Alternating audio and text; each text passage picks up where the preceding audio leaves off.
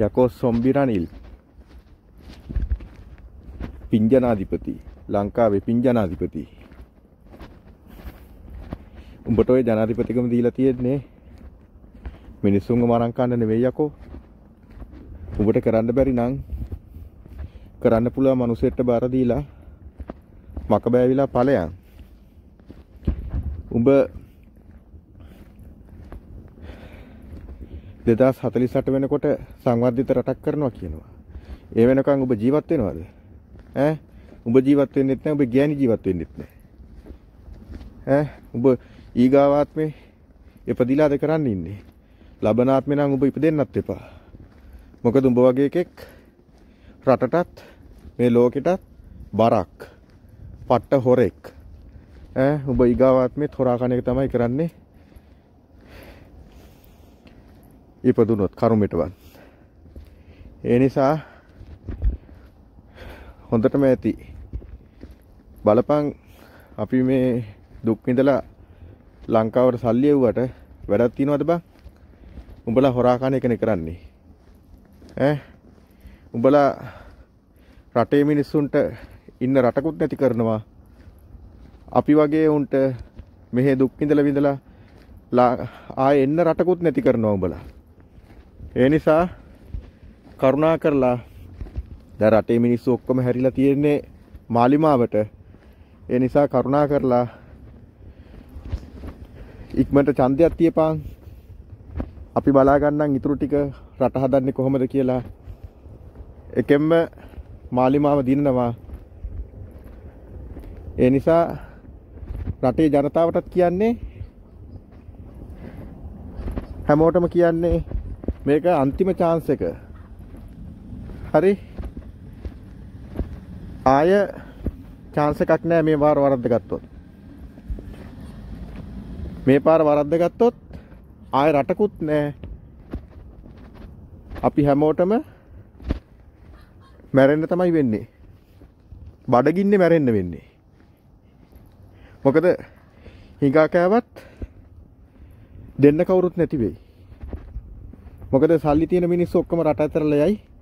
අන්තිමේටම රටේ ඉතුරු වෙන්නේ සල්ලි නැති දුප්පත් හිඟන මිනිස්සු තමයි ඉතුරු වෙන්නේ. ඒ නිසා මේක අන්තිම chance එක හොඳට කල්පනා කරන්න කල්පනා කරලා ඔයගොල්ලන්ගේ වටිනා ඡන්දේ භාවිතා කරන්න මේ කොහෙවත් යන පඩත්තරයොන්ට හිපාටුවන්ට ඡන්දෙ දෙන්න එපා හොඳටම ඇති ඉවසුවා. ඒ කියන්නේ දැන් අපි මෙච්චරකල් දෙපැත්ත මාරු කර කර දුන්නනේ. මහින්ද නාකි මයිනටයි රනිලටයි ඔක්කොටම දුන්නනේ. ওই සජිතයත් රනිලත් එක්කනේ හිටියේ. සජිතය ආවත් කරන්නේ නැහැ. සජිත් එක්ක ඉන්න හැම එකම රනිල් එක්ක හිටපෙවුන්නේ කලින්. හැමෝම දන්නවනේ කරාද කියලා. මොකද කරේ කියලා. මහ බැංකුවත් හොරා කාලානේ ගියේ ඒ නිසා අපි අලුත් බලවේගයකට රට බාර දෙන්න ඕනේ. ඒ තමයි මාලිමාව. අනුර දිසානායක ප්‍රමුඛ මාලිමාව. අනිවාර්යයෙන්ම රට බාර දෙන්න ඕනේ. අලුත් බලවේගයකට ඒ නිසා ඒ නිසා හොඳට කල්පනා කරලා අපේ වටිනා ඡන්දය දෙන්න ඕනේ. අපේ මුළු පවුලම කවදාවත් මාලිමාවට ඡන්දෙ දීලා නැහැ. JVP එකට මාලිමාවට කවදාවත් ඡන්දෙ දීලා නැහැ. මේ පාර අපේ පවුලේ ඡන්ද 24ක් ඔක්කොම මාලිමාවට හැරිලා තියෙන්නේ. මීට කලින් ඔක්කොමලා දුන්නේ UMP එකට. අලියට මේ පාර කිසිම කෙනෙක් දෙන්නේ නැහැ කිව්වා. ආයි කියන්න ඕනේ දැන් ඔය ඉන්නවනේ පොදු අපේක්ෂකයෝ කිය කියා අලුත් අලුත් එවුන් ටික ධම්මික පෙරේරා දිලිප් ජයවීර කියලා ඉන්නවා.